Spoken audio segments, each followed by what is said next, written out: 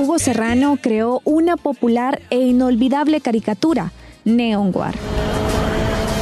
Sus videos se encargaban de relatar la vida cotidiana en nuestro país, pero ahora el creador ha fallecido.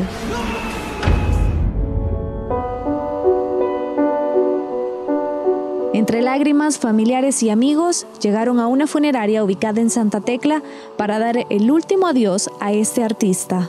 Él vino hace 15 días de Estados Unidos. Ya venía ya este, bien mal de Estados Unidos.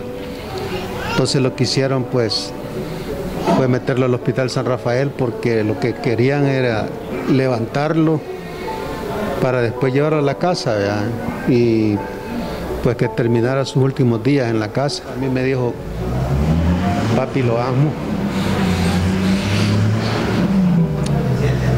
Me dijo, cuide de mi mami, me dijo, cuide de mi mami.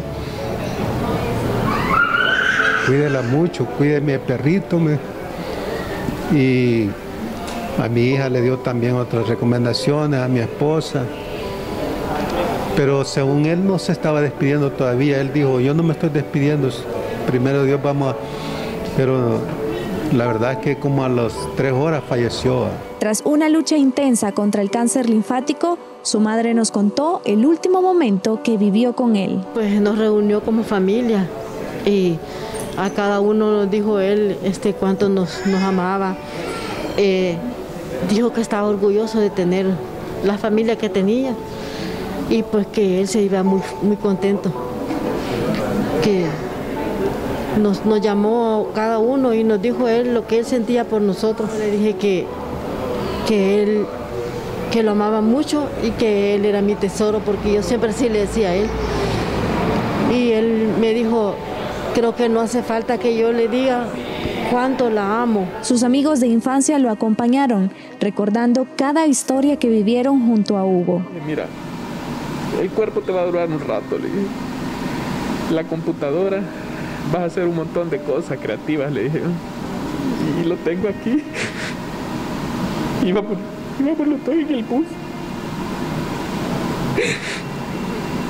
Lo extraño un montón para? Demasiado para muchos de nosotros. Estuvimos desde antes, durante. Lo que nos decía, miren, ayúdenme a conseguir esto, todos nos rebuscábamos, buscábamos la manera. El caricaturista salvadoreño Hugo Nelson Serrano, de 31 años, falleció este 2 de mayo.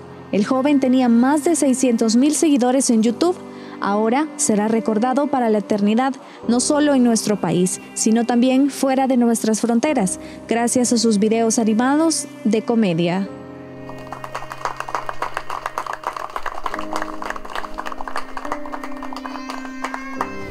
Y es así como familiares, amigos y compañeros de Hugo Serrano le dan el último adiós en el cementerio municipal de Santa Tecla. Él, más conocido por su canal de YouTube, Neonwar, será recordado por sus divertidos videos. Con imágenes de Manuel Campos, Fiorentina Campos, Noticias, Cuatro Visión.